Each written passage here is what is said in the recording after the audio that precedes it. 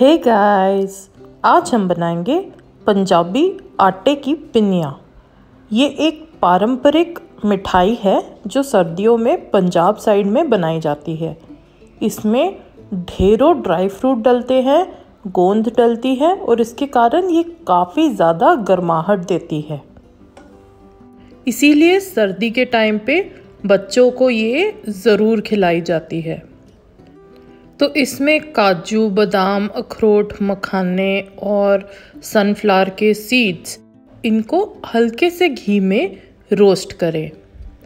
तो गाइस ये जितने भी ड्राई फ्रूट है, हमें बहुत ज़्यादा ब्राउन नहीं करने, बस हल्के से वार्म करने और हल्का से जो कलर का चेंज है, उसका वेट करना है। कौन कौन से ड्राई फ्रूट लेने हैं, किस क्वांटिटी में लेने हैं, ये आप बिल्कुल अपने हिसाब से डिसाइड कर सकते हो। जो भी आपके पास ड्राई फ्रूट हो, उनको ऐसे रोस्ट करके दर दरा पीस लें। अब थोड़ी सी गोंद और घी लें। गाइस गोंद एक रेजिन होता है, पेड़ों से मिलता है, ये बिल्कुल वेजिटेरियन प्रोडक्ट है और ये बहुत ज़्यादा गर्मी देता है मैं विंटर में। तो इसको घी में रोस्ट करके क्रिस्पी करके, इसको भी पीस लीजिए। जिन लेडीज़ को पीसीओडी की बीमारी है, उनके लिए भी गोंद काफ़ी अच्छी होती है। इसीलिए गाइस जो हमारा पारंपरिक खाना होता है, ये बिल्कुल ही सीज़न के हिसाब से डिज़ाइंड है। जो हमारी बॉडी को उस सीज़न में चाहिए, ये उसके हिसाब से बना होता है। तो हमेशा हमें इवन तो हम और क्यूजीन्स ट्राई करते रहे, लेकिन अपने जो रूट्स हैं, अपने पारंपरिक खाने को कभी नहीं भूलना चाहिए।